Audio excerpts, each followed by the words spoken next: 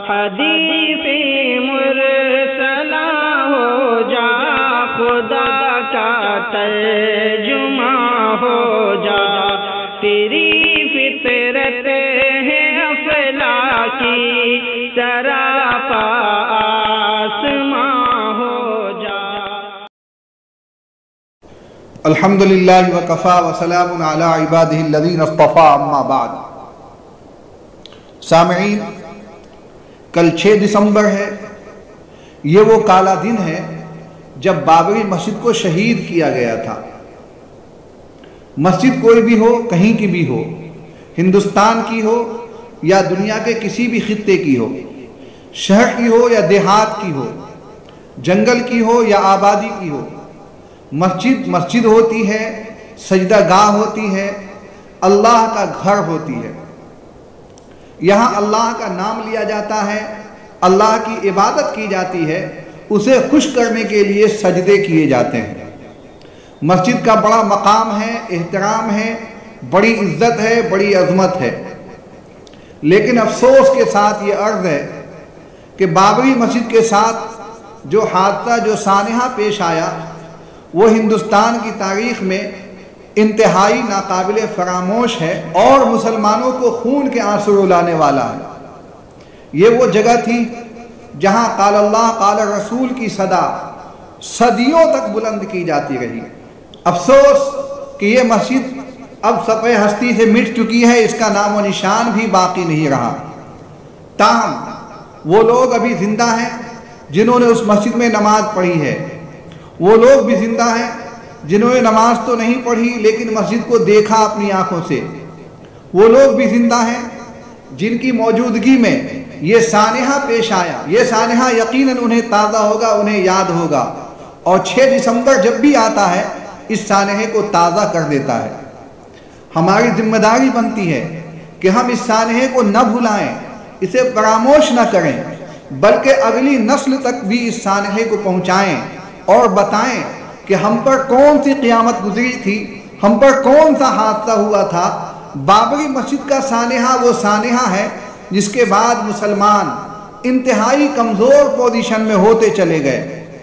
सोचने की बात है कि ये वो मस्जिद है जिसके सिलसिले में ये बात बड़े वसूख के साथ कही जाती है और कही जा सकती है कि तमाम शवाहिद मस्जिद के हक में थे, तमाम तर दलाइल मस्जिद की मौजूदगी को बताते थे। यहाँ किसी और चीज़ का कोई वजूद नहीं था। लेकिन जब मामला अदालत में पहुँचा तो अदालत ने तमाम शवाहिद मस्जिद के हक में होने के बावजूद और तस्लीम करने के बावजूद मंदिर के हक में फैसला कर दिया। इस मस्जिद के सिलसिले में कई चीज़ें सामने आईं। एक चीज़ तो ये कि कांग्रेस पार्टी जिसे मुसलमानों ने हमेशा आगे बढ़ाया, हमेशा जिसे अपना खून जिगर दिया, उसने मुसलमानों के साथ खूब धोखे किए। आज़ादी के बाद से मुसलसल धोखे दिए। उसी का नतीजा है कि बाबरी मस्जिद आज हमारे हाथों से निकल चुकी है और वहाँ अजान की आवाज़ें बुलंद होने के बजाय भजन गाए जाते हैं, बुद्ध की पूजा होती है और वहाँ अल्लाह का नाम निशान कहीं बाकी नहीं रहा है। बाबरी मस्जिद के सिलसिले में एक बात और सामने आई। कुछ वो लोग थे जिन्होंने इसकी बाजियाबी की बड़ी कोशिशें की हैं।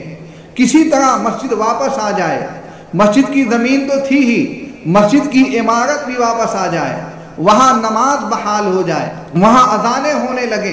बड़ी कोशिशें की गई all India Muslim personal law board की जानब से, सुन्नी वक्फ बोर्ड की जानब से, और दीगर तंजीमों ने भी ये काम किया। लेकिन कामयाबी नहीं मिल सकी।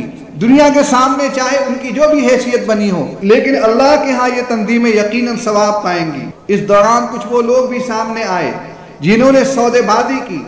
मुसलमान मस्जिदों के मामले में इतने ज़्यादा हसास थे कि उन्होंने बातिल की तमाम साजिशों को बेनकाब कर दिया और नाकाम कर दिया। बातिल ने चाहा कि मस्जिद की जगह ले ली जाए और बाहमी गुफ्त शुनीद के ज़रिए से मस्जिद की जगह यहाँ से हटाकर दूसरी जगह कर दी जाए और वहाँ पर मंदिर तामीर किया जाए।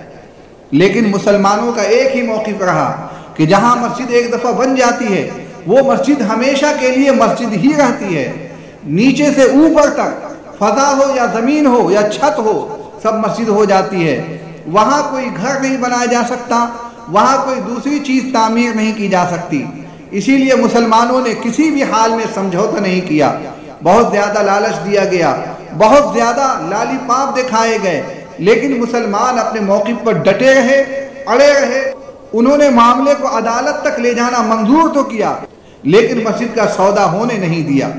आज की मजलिस में जहाँ मुझे ये बताना है कि मस्जिद की तारीख क्या थी, मस्जिद के साथ क्या क्या वाक़ पेश आया, वही ये बताना है कि मस्जिद कैसी थी, उसकी शक्ल सूरत क्या थी, उसके हदूद अरबा क्या थे, उसका नक्श निगार कैसा था, इन तमाम मौजूद पर आज की मजलिस में गुफ्तु होगी।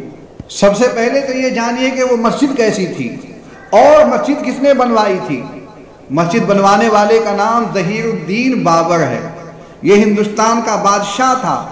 इसने अपने एक सिपा सालार मीर बाकी के ज़रिए से 1528 में उत्तर प्रदेश के अयोध्या मकाम पर मस्जिद तामीर की थी। ये मस्जिद कैसी थी? ज़रा उसका नक्शा देख लीजिए। फन तामीर के लिहाज से एक शाहकार थी। बाबरी मस्जिद के ऊपर तीन गुंबद बनाए गए थे, जिनमें दरमियानी गुंबद बड़ा और उसके साथ दो छोटे गुंबद थे। गुंबद के अलावा मस्जिद को पत्थरों से बनाया गया था, जिसमें सहन भी शामिल था। सहन में एक कुआँ था। गुंबद छोटी ईंटों से बनाकर उस पर चूना का पलस्तर भी किया गया था। मस्जिद को ठंडा रखने के लिए उसकी छत को बुलंद बनाया गया था। रोशनी और हवा के लिए जालीदार खिड़कियाँ भी लगाई गई थी। अंदरूनी तामीर का एक खास हाल ये था कि अगर मस्जिद के किसी एक कोने से आवाज़ लगाई जाए तो दूसरे कोने पर भी हल्की आवाज़ पहुँच जाती थी। मस्जिद इतनी ज़्यादा गूंजती थी। ये तो मस्जिद का नक्शा था जो आपकी खिदमत में बयान किया गया। अब उसकी तारीख से मात फरमाएँ, मस्जिद कब बनी, बीच में क्या क्या वाकयात पेश आए, कब शहीद हुई क्या क्या फैसले हुए, ये तमाम चीज़ें आपकी खिदमत में हाजिर हैं। 1528 एक ऐसे मकाम पर मस्जिद की तामीर हुई, जो हिंदुओं के दावा के मुताबिक राम की जाए पैदाइश थी। अठारह अयोध्या के पहले मजहबी फसादात हुए। अठारह बरतानवी नौ आबादियाती हुकूमत की जानब से इबादत की जगह तकसीम कर दी गई। अंग्रेज़ हुकूमत ने उस जगह को बांट दिया। कांग्रेस की हुकूमत में यह वाक़ पेश आया। उन्नीस सौ उनचास में मस्जिद में ताला लगा दिया गया। उन्नीस सौ चौरासी, विश्व हिंदू परिषद की जानब से राम की जाए पैदाइश को आज़ाद करवाने के लिए तहरीक का ऐलान किया गया। बीजेपी के रहनुमा लाल कृष्ण एडवाणी ने इस तहरीक की क्यादत संभाली। उन्नीस सौ छियासी जिलई अदालत की जानब से हिंदुओं को मुतनाज़ा मकाम पर पूजा की इजाज़त मिली। मुसलमानों की जानब से बाबरी मस्जिद एक्शन कमेटी का क्याम हुआ। उन्नीस सौ नवासी। विश्व हिंदू परिषद ने मस्जिद से मिली हुई ज़मीन पर राम मंदिर की बुनियाद रखी। उन्नीस सौ नब्बे। विश्व हिंदू परिषद के लोगों ने मस्जिद को जुजवी तौर पर नुकसान पहुँचाया। हिंदुस्तानी वज़ीर आज़म की जानब से मसले के हल की कोशिश की गई। उन्नीस सौ इक्यानवे। सूबा उत्तर प्रदेश में बीजेपी हुकूमत कायम हुई। उन्नीस सौ बानवे विश्व हिंदू परिषद के हामियों की जानब से बाबरी मस्जिद को शहीद कर दिया गया। हिंदू मुस्लिम फसादात हुए, जिनमें दो हज़ार अफराद हलाक हो गए। दो हज़ार एक आया इनहदाम के नौ बरस मुकम्मल होने पर विश्व हिंदू परिषद की जानब से राम मंदिर की तामीर का इरादा दोहराया गया। जनवरी 2002 में वज़ीर आज़म अटल बिहारी वाजपेयी के दफ्तर में अयोध्या सील का क्याम हुआ। फरवरी 2002 में बीजेपी की जानब से इंतखाबी मंशूर में से राम मंदिर की तामीर की शिक निकाल दी गई।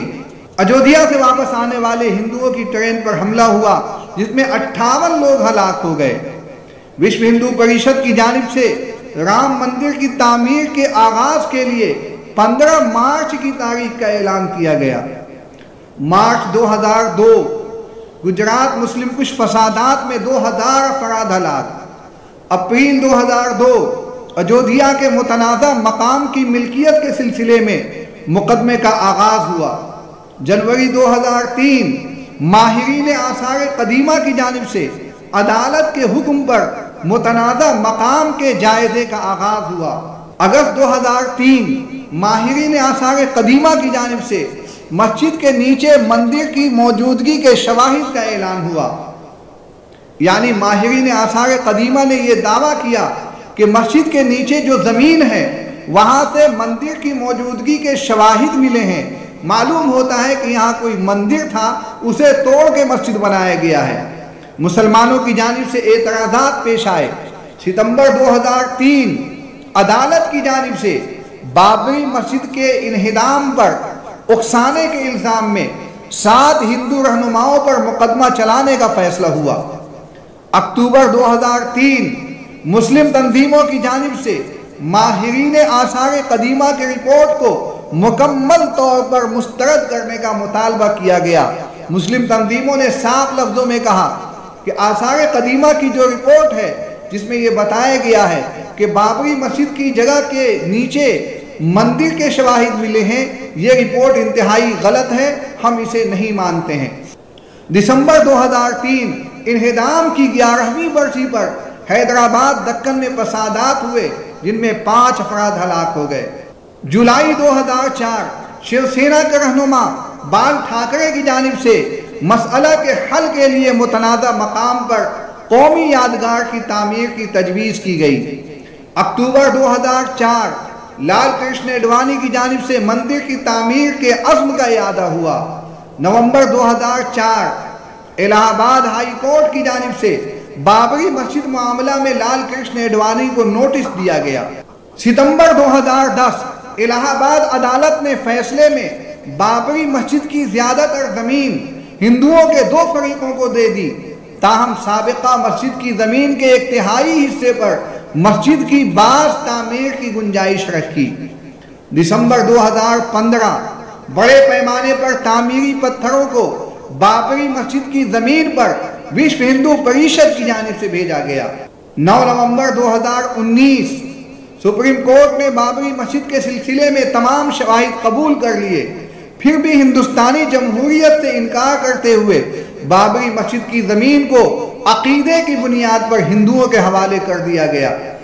ये बाबरी मस्जिद की तारीख थी मुख्तसर, जो आपकी खिदमत में पेश की गई। मैंने आपको पहले बताया कि यह मस्जिद 1528 में तामीर की गई थी और 325 साल तक यहाँ कोई इख्तलाफ नहीं था। अल्लाह की इबादत की जाती थी, अल्लाह की सदा लगाई जाती थी, अल्लाह रसूल का नाम लिया जाता था। कभी कोई मसाला सामने नहीं आया। लेकिन ये मसाला खड़ा हुआ तो कब? 19वीं सदी में खड़ा हुआ।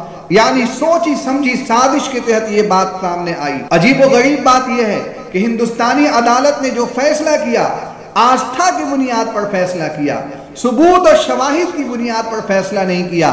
चुनाचे 30 सितंबर 2010 को जो फैसला हुआ था, उसमें यह बात आई थी कि हम आस्था की बुनियाद पर फैसला कर रहे हैं। उसका एक हिस्सा तो मुसलमान को दिया जाएगा और एक हिस्सा निर्मोही अखाड़ा को, और एक हिस्सा हिंदू महासभा को। ये तमाम तकसीमात हुई। इलाहाबाद हाई कोर्ट की जानब से जब ये तकसीम सामने आई तो मुसलमानों ने इस तकसीम को कबूल नहीं किया और मुस्तरद कर दिया और मामले को सुप्रीम कोर्ट ले गए। मुकदमा चला और चलता रहा। बाबरी मस्जिद को शहीद करने वाले लोगों के खिलाफ भी केस चलता रहा। बीजेपी की हुकूमत आई तो जहाँ और लोगों को शिकायत हुई वहीं अदलिया को भी शिकायत का सामना करना पड़ा। अदलिया के कई जजों ने प्रेस कॉन्फ्रेंस में ये ऐलान किया कि हम पर कोई दबाव है। हम आज़ादी चाहते हैं और आज़ादी के साथ काम करना चाहते हैं। लेकिन जब रंजन गोगोई हिंदुस्तान की अदालत आलिया के चीफ जस्टिस बने और उनके फैसले का वक्त आया तो उन्होंने ऐसा फैसला किया जो हिंदुस्तान के मोतदिल शहरी को हजम नहीं हुआ। तमाम सबूत मस्जिदों के हक में थे। मुसलमानों को यकीन था कि फैसला मस्जिद के हक में आएगा। लेकिन उसके बावजूद भी फैसला मस्जिद के हक में नहीं, बल्कि मंदिर के हक में चला गया। रंजन गोगोई ने साफ़ ऐलान किया कि मस्जिद की जगह राम मंदिर को दे दी जाए और मस्जिद के लिए अलग से पाँच एकड़ ज़मीन हुकूमत कहीं दे दे। चीफ जज ने यह भी हिदायत की कि राम मंदिर के लिए बाकायदा ट्रस्ट कायम किया जाए और मंदिर की तामीर का सिलसिला आगे बढ़ाया जाए। चुनाचे वक्त आगे बढ़ा, बात आगे बढ़ी। और वज़ीर आज़म नरेंद्र मोदी ने राम मंदिर का संग बुनियाद बाकायदा डाल दिया। संग बुनियाद में जो ईंट डाली गई, वो 40 किलो चांदी से तैयार ईंट थी। राम मंदिर का संग बुनियाद इसी साल 2020 में 5 अगस्त को डाला गया। मुसलमान जब तक अपने ईमानी हमीयत के साथ ज़िंदा रहेंगे, बाबरी मस्जिद की याद उनके सीनों का दाग बनी रहेगी। मुसलमान बाबरी मस्जिद को न भूले हैं, न भुला सकते हैं। मुसलमानों के सीने छलनी हैं। यकीनन ये एक बड़ा सानहा था जो उम्मत मुस्लिमा हिंदिया के सर से गुजरा। लेकिन हमें भूलना नहीं है और अगली नस्लों को बताते रहना है। तिलगल अयाम फितरत का कानून है। आज किसी की हुकूमत है, कल किसी की हुकूमत होगी। लिहाजा अपनी नस्लों को अपनी तारीख बताना ज़रूरी है। दूसरी और आखिरी बात यह है कि हमें मस्जिदों के ताल्लुक से हसास रहना पड़ेगा। हमें नमाजें बजाय घर में पढ़ने के, मस्जिद में पढ़नी पड़ेगी। मस्जिदों से कलबी लगाव रखना पड़ेगा। हमें वहाँ मुस्तकिल आना जाना पड़ेगा। हमें उससे बे इंतहा ताल्लुक रखना पड़ेगा। अगर हम मुसलमानों ने मस्जिद के साथ वैसा ही ताल्लुक रखा, जैसा सहाबा रखते थे, जैसा नबी पाक सल्लल्लाहु अलैहि वसल्लम रखते थे, जैसा खैरुल के लोग रखते थे तो इन हमारी कोई मस्जिद ज़ाय नहीं होगी, हमारी कोई मस्जिद बाबरी मस्जिद नहीं बनेगी। वरना अगर हमने सिर्फ़ जुबानी दावे किए और एक दिन का मातम किया और एक दिन का गम मनाया, उससे कोई हासिल नहीं होगा। आज बाबरी मस्जिद गई है, कल मथुरा की मस्जिद भी जाएगी, उसके बाद अगली मस्जिद का भी नंबर लग सकता है। खुदा न खास्ता, खुदा न खास्ता। अल्लाह ताला हम सबको बेदार बनाए, मस्जिदों की मोहब्बत को सीने में बसाए। व आखिर दावाना अलहमदिल्ला